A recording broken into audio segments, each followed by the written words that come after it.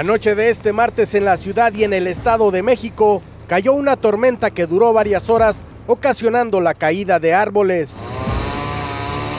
Las alcaldías más afectadas fueron Cuauhtémoc, Miguel Hidalgo, Iztapalapa y Milpa Alta. En el municipio de Tlanepantla, un elemento de la policía se encontraba banderando una zona de riesgo donde cayó uno de ellos. Una mujer que circulaba por la misma vialidad lo atropelló.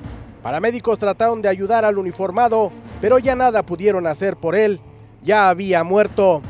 La conductora del auto de color blanco, después que lo arrolló, escapó. Sin embargo, calles más adelante le dieron alcance fue detenida y después de leerle sus derechos, la trasladaron al Ministerio Público. Más tarde, peritos de la Fiscalía realizaron el levantamiento del cuerpo. Los hechos se registraron minutos antes de la medianoche sobre la avenida Poniente 152 en la colonia industrial Vallejo. Todo esto ocurrió durante esta noche y madrugada mientras usted dormía.